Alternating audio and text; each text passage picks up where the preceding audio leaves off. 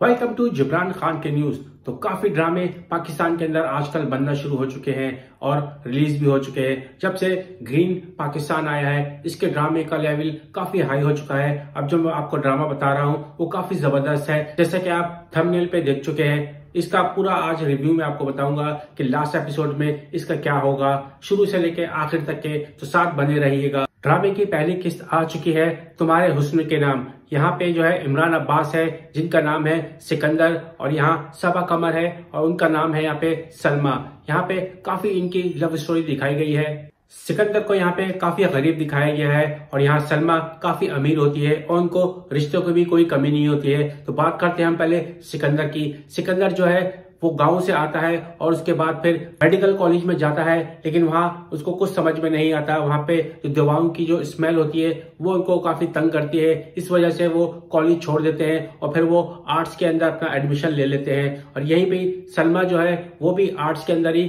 अपनी तालीम हासिल कर रही होती है। ये पूरा छोटा सा इंट्रो था जो पहली एपिसोड के अंदर दिखाया गया है। यहाँ सिकंदर कॉलेज के अंदर क्रिकेट खेल रहे होते हैं और सलमा की एंट्री हो रही होती है। यहाँ पे सिकंदर एक शॉट मारते हैं और सीधा जाके इनके बॉल जो है लग जाती है। सलमा जो है, बॉल लगने से बेहोश हो जाती है। यहाँ पे फिर काफ़ी जो है, हंगामा मच जाता है कॉलेज के अंदर। बात इतनी बढ़ जाती है कि सिकंदर को जो है, कॉलेज से निकालने की बातचीत चल रही होती है। यहाँ पे सलमा के वाली साहब भी आ जाते हैं और यहाँ पे पूरा ज़ोर लगाते हैं कि उस लड़के को कॉलेज से निकाल दिया जाए। लेकिन यहाँ सलमा जब वापसी आती है तो फिर अपनी दरखास्त जो है, वापसी ले लेती है और वहीं पे जैसी दरखास्त लेके वापसी निकलती है तो फिर उसके बाद दोबारा से इनकी लड़ाई हो जाती है। लेकिन यहाँ पे सिकंदर को ये नहीं पता होता कि सलमा ये वही लड़की है जिसको मैंने बॉल मारी थी। जब इनको इस बात का पता चलता है तो काफ़ी शर्मिंदा हो जाते हैं। यहाँ पे फिर अब इनकी लव स्टोरी स्टार्ट होना शुरू हो जाएगी। सिकंदर से गलती हुई थी। अब वो कैसे बात करेंगे सलमा से? अब यहाँ पे इनकी हल्की हल्की बात होना शुरू होती है, लेकिन यहाँ पे सिकंदर जो है, सलमा की एक पेंटिंग बनाते हैं और उनको गिफ्ट करते हैं। सलमा जब घर जाती है, वो जब पेंटिंग खोलती है तो वहाँ पे देखते हैं कि काफ़ी खूबसूरत तरीके से यहाँ पे सिकंदर ने इनकी पेंटिंग बनाई होती है, क्योंकि वो खुद एक आर्टिस्ट होती है तो वो काफ़ी समझती है इस चीज़ को, और फिर यहाँ पे इन दोनों की काफ़ी मुलाकात होना शुरू हो जाएगी। कॉलेज के अंदर और यहाँ पे काफ़ी बॉन्डिंग दिखाई जाएगी और काफ़ी यहाँ पे प्यार इन दोनों का दिखाया गया है। काफ़ी केमिस्ट्री जो है स्क्रीन पे नज़र भी आ रही है। दोनों एक दूसरे को काफ़ी पसंद करने लगे हैं। अब यहाँ पे सिकंदर इनको बोलेंगे कि कोई माई का लाल नहीं है जो तुम्हें मुझसे लेकर चला जाए। और इसके बाद फिर एंट्री होती है आतिफ की। यहाँ आतिफ अपने घर वालों को बोलते हैं कि आप जो है कुरैशी साहब के घर जाए और वहाँ पे उनकी जो बेटी है वो मुझे काफ़ी पसंद है। आप रिश्ता लेके जाएँगे घर पे। यहाँ पे सारे चले जाते हैं पूरे घर वाले कुरैशी साहब के घर पे, यानी कि सलमा के घर पे रिश्ता लेने के लिए आतिफ का। यहाँ आतिफ भी सामने बैठे होते हैं और इतने में सलमा आ रही होती है, सलमा को बताते हैं कि आपका रिश्ता आया है आतिफ का।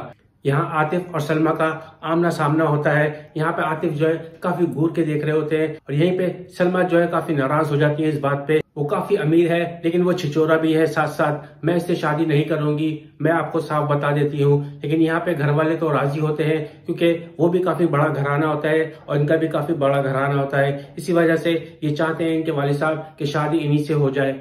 सलमा फिर अपनी माँ को और अपने वालिद साहब को ये बात बताएँगी कि मैं कॉलेज में एक लड़के को पसंद करती हूँ, लेकिन वो काफ़ी गरीब है। यहाँ पे इनके वालिद इनको बोलते हैं, तुम उसके साथ पूरी ज़िंदगी कैसे गुजार सकती हो? उसके पास तो कुछ भी नहीं है। और यहाँ पे आतिफ के पास तो आलिशान घर है, हर चीज़ है। तुम हर वक्त खुश रहोगी वहाँ पे और यहाँ पे तुम काफ़ी मुश्किलों में ज़िंदगी गुजारोगी।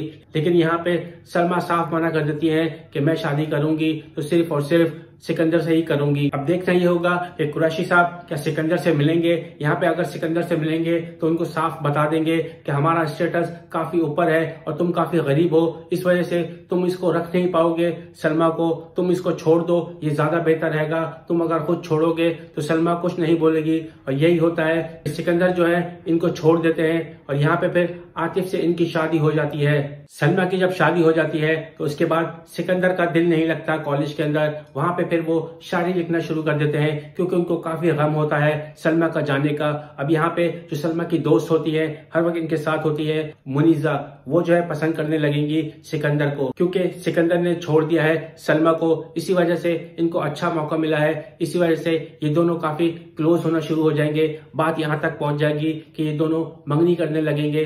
लेकिन यहाँ पे सलमा का क्या हाल होगा? सलमा को यहाँ पे काफ़ी तशद किया जा रहा होगा। आतिफ जिस नेचर का बंदा है, वो चाहता है कि ये हमेशा मेरे साथ रहे, यानी कि पार्टी में जाए। जैसा मैं चाहता हूँ, वैसा ही करे। लेकिन यहाँ सलमा जो है बिल्कुल दूसरे टाइप की लड़की होती है, क्योंकि वो एक आर्ट से रिलेटेड होती है, उनको पेंटिंग का शौक होता है।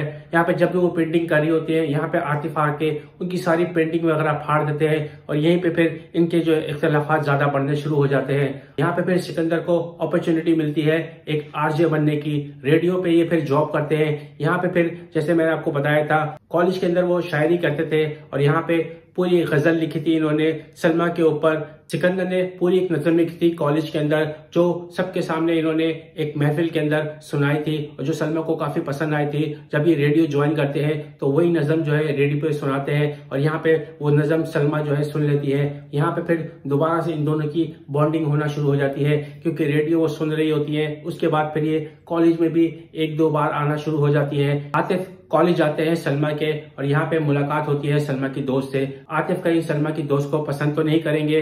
अगर ये दोनों एक दूसरे को पसंद कर लेंगे तो यहाँ पे फिर सलमा का रास्ता खुल जाएगा सिकंदर के लिए। यहाँ पे फिर इन दोनों की आपस में दोबारा से मुलाकात होना शुरू हो जाएगी।